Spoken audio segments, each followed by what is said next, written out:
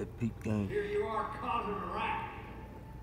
You see, Fontaine, the, the powers that be, the invisible people above me who pull the strings weren't getting the results they wanted.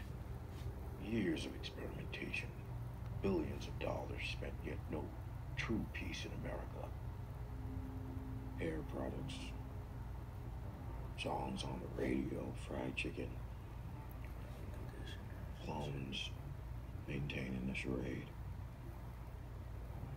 Short-sighted, waste of resources. All because they couldn't see what's so obvious to you and me. It's not enough to think the same. We have to be the same. Nah, you tripping, man.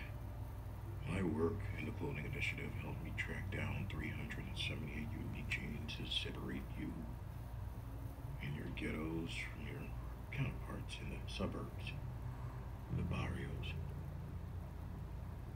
Chinatown.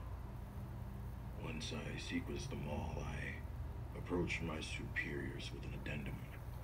I'm sure you're aware of our first test subject. DC Chinatown. In the lab, the tech, the management, not complete successes, but they passed. As they are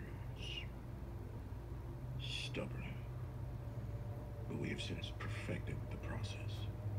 Think niggas might notice if they wake up one morning with blonde hair and blue eyes. This won't happen overnight, Fontaine. It'll happen over generations. And now, we are at the precipice of our true national rollout.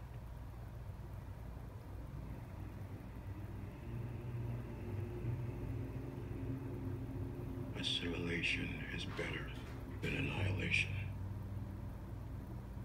Shit. Come on, Yo-Yo, how about we wrap this up?